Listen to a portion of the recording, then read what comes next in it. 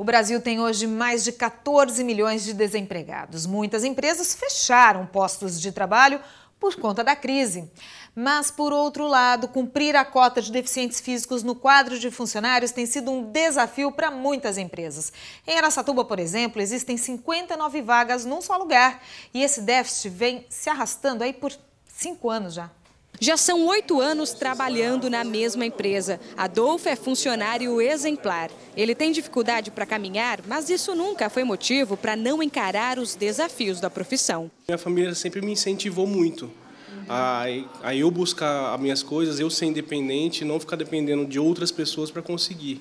Adolfo faz parte de uma minoria, portadores de deficiência que estão incluídos no mercado de trabalho. Segundo o IBGE, cerca de 6% da população tem algum tipo de deficiência física ou intelectual. Na prática, são mais de 12 milhões de pessoas, mas apenas 380 mil estão inseridas no mercado de trabalho. Para a gente entender melhor essa realidade, a cada 100 portadores de deficiência, apenas 3 têm carteira assinada. A lei é clara: as empresas com mais de 100 empregados devem ter de 2 a 5% do quadro de funcionários preenchido por pessoas com deficiência. Na Santa Casa de Araçatuba, por exemplo, essa meta está longe de ser alcançada e o problema se arrasta há cinco anos. Hoje, são 59 vagas disponíveis para o setor administrativo e de apoio. Segundo a responsável pelas contratações, os candidatos alegam a mesma coisa na hora de recusar as as ofertas. A nossa grande dificuldade é que esse trabalhador ele venha e aceite a faixa salarial que o mercado oferece. O que a gente é, ouve nas entrevistas é que, ah, não, por este valor eu prefiro receber o benefício que o governo me dá.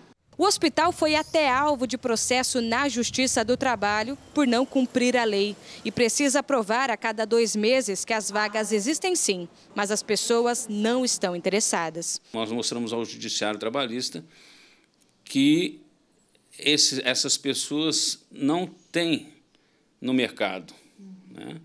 E o tribunal nos, nos entendeu e nos colocou numa posição de manter o contato na imprensa, nos órgãos para tentar preencher essas vagas. A Associação de Atendimento aos Deficientes Físicos de Araçatuba e região aponta maneiras para resolver o problema. Eu acredito que as empresas deveriam se empenhar no treinamento desse pessoal tem muitas funções que eles são muito capazes, são muito inteligentes. Uhum. E, e, e, dariam, assim, super certo nas funções necessárias aí, nas vagas. Uhum.